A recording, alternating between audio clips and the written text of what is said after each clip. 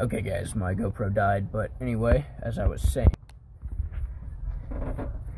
Coil bracket bolts, they go right here, one, here two, and then there's a nut that holds the heater core hoses and bolts onto that bolt right there with this, that nut right there.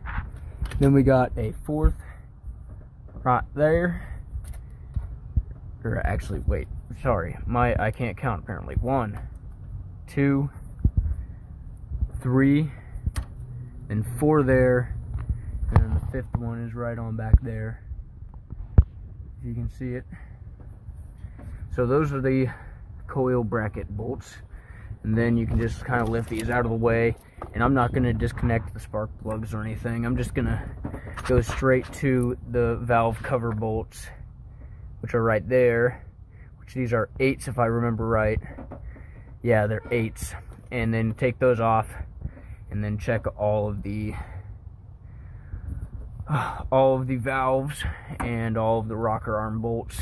Make sure that they're all good and tight. And then I will move to the driver's side, which is basically the same thing, and do it over there. So I have the passenger side valve cover off, as you can see, and um, a tip this is coming from experience, from my experience, for you guys.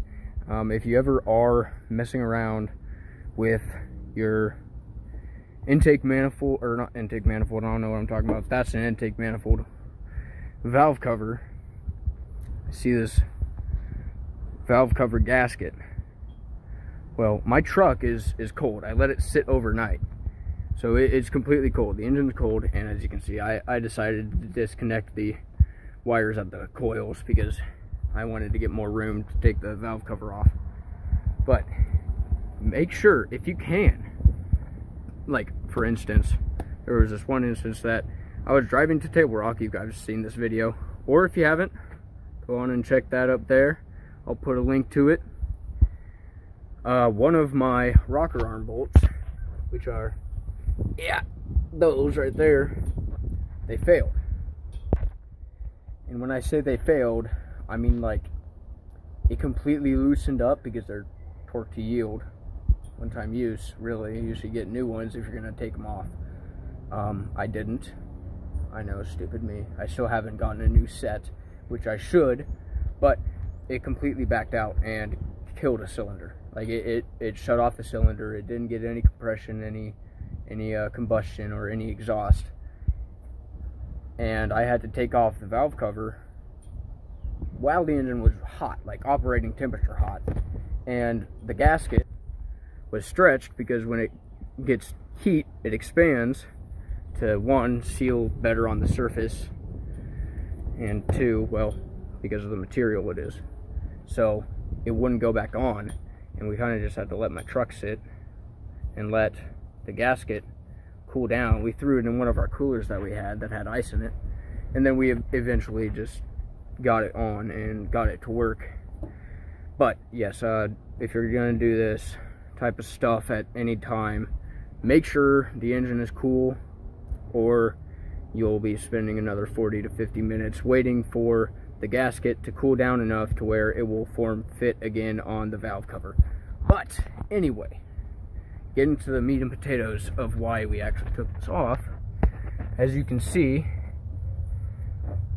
there is no bad rocker arm on this side. And I, along with those, I can't really get to those, but I did check them. So, that kind of narrows it down to EGR. And also the truck has a bunch of the same symptoms that uh, corresponds with EGR. So, I'm going to check the driver's side just because I want to be thorough and I don't want to miss something and then grenade a cylinder. But yeah, it's looking like it's going to be the EGR. And I am going to get that block off kit. Off-road use only. Okay. Um, yeah. I'm going to move to the driver's side now. Just check driver's side. We're all good there.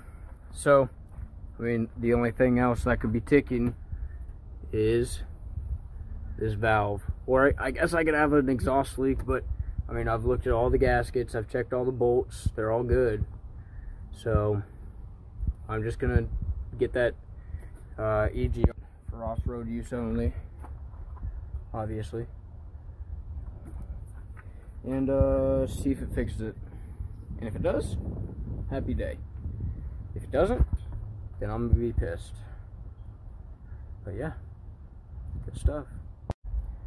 Okay, um, I did a thing. I took off the whole EGR system here, as you can tell, intake side, then exhaust manifold side. Um, I checked to see if there was any holes in here, and there isn't. It is dirty as hell, but look at this. This is on the intake side. That is not clean at all. So, what I'm gonna do, I'm gonna take my rag, I'm gonna take some WD-40 that's actually over there. Eh, that. I'm gonna clean up all this. Check this. And see what the hell happens. And I also have a gasket here that goes on this side, the manifold side right there. Focus. Yep, there we go. Right there. Don't focus on my finger. But you know what I'm saying. That bad boy. So yep. Gonna do that. Get everything cleaned. We'll be good to go. Okay. Back out here got that gasket I needed, or at least I think I need. Still might be that I need to get that EGR block off, but gonna try save myself a little bit money because this gasket was only two dollars. So if I can save myself 20 some bucks by just replacing a gasket, I will. But if it turns out that it's the actual valve, well, kind of SOL and got to replace the, well, I, I got to get the block off. Yeah, but got, got the gasket to replace, yeah, uh, that gasket right there. So, gonna get those two bolts off right there. Obviously 10 mils, got it right there. Don't want to lose that 10 mil, you know what I mean? May never see it again. And, uh, I'll get back to you. All right, got got both the bolts out, and as you can see, the trashed gas gasket is right there. Got the new one here. So gonna throw the gasket back on because yesterday I had already cleaned that gas the gasket areas up. I might go through it again just to make sure that it's all good, but I'm pretty sure it is. So we'll we'll probably just give it a once over real quick and then throw on the new gasket. But I don't know why I just thought about this, but so the EGR is a valve. This thing's a valve. So that would mean since it's a valve, it's not always on or always off. So there should be at least a small temperature difference between this pipe right here and this pipe right here the collector from the manifold and then the collector into the uh, intake. So, if I can get my camera down there, as you can see, there's just a small area right here where the pipes are free, where there isn't any, you know, tip wrapping or anything like that. So, what I did is I, I touched either end, the intake, well, intake, the exhaust side and the intake side, and there is no temperature difference. So what that tells me is either the valve stuck open or I drive like a fucking maniac, which both might be a problem, but pretty sure the valve is stuck open. Which would mean that the EGR is bad. But I'm going to replace the gasket anyway. and see if the ticking goes away. If it doesn't, then I know that it is the EGR. It's either the EGR or I have an exhaust manifold that is cracked, which would really suck. But then I would get long tube headers, which would be really cool. Yeah? Yeah? Yeah. All right. I'm going to keep going on it, throw this gasket on, tighten up the two bolts, and I will see you on my test drive. Now I'm thinking about it, I'm going to put this information tidbit right before the test drive.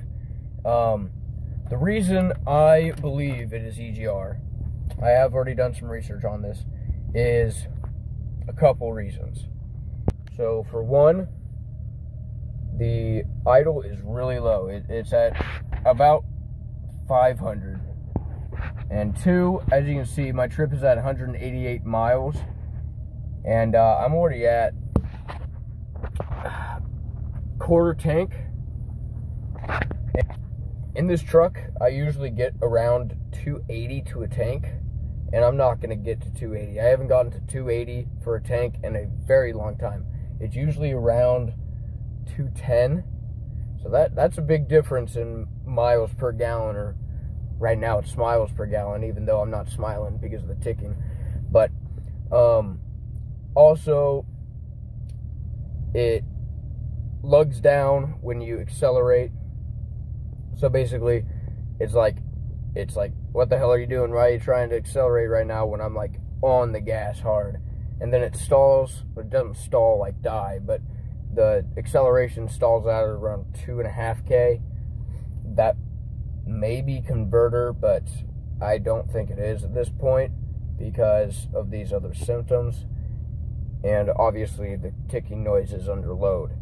So I have one, two, three, four of the five symptoms of an EGR valve. Actually, no, five of the five because I mean my engine light isn't on right now, but it did turn on when I was driving back to Olathe one time, and it is hot as hell in this truck. And when I checked codes at my house, it popped up with P0405, which is an EGR low voltage uh, DTC. So it's another thing. And on my research that I found, it said that even when the EGR valve is in the process of failing, it won't trip the EGR code, but the engine will trip a light, but it will be confused confused as to which one it is or what it is. And I've been getting like multiple misfire, uh, O2 sensors, low voltage, a whole bunch of different trouble codes until all four O2 sensor codes popped along with the EGR, which I'm guessing is when the EGR finally decided to say, see you later, and exited the chat. So that's that's kind of my information that I have and I thought I'd just let you guys know kind of if you're looking at it on your truck and your truck has well anything less or more than that, really, 306.5, almost 6.6, there's a good possibility that it could be that if you have all these symptoms. So, uh, if you are watching this right now, there you go. You got your information for you. I mean, uh, anybody can get that. It's just a simple Google search, but that's kind of what I found. And I, I do have the the luxury of ShopKey Pro through my auto tech center here at Pitt. So that's another plus. That's another uh, uh, really handy tool that I can use. So, all right, now to the test drive. Okay, about to go on ahead and see if we still have that ticking. Um, you're going to be along the ride with me.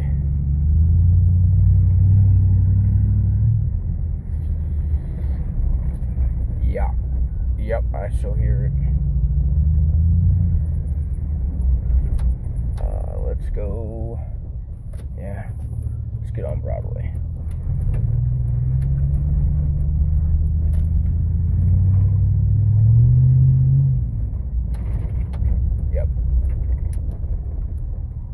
Still hear it.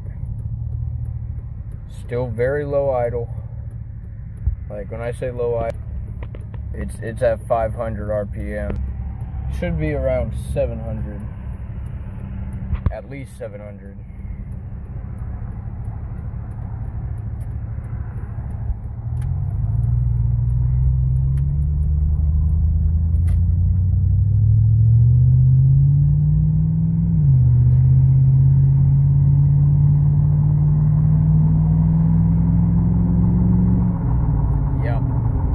Yeah, I don't know if you guys can hear it over the exhaust and really loud tires, but it's still ticking like a bitch. So that's gonna be EGR valve for sure. And if it's not the EGR valve, then I'm, I don't know. I guess I'm just getting freaking long tube headers, cat back exhaust. No, I won't do that. I'll try to track it down. But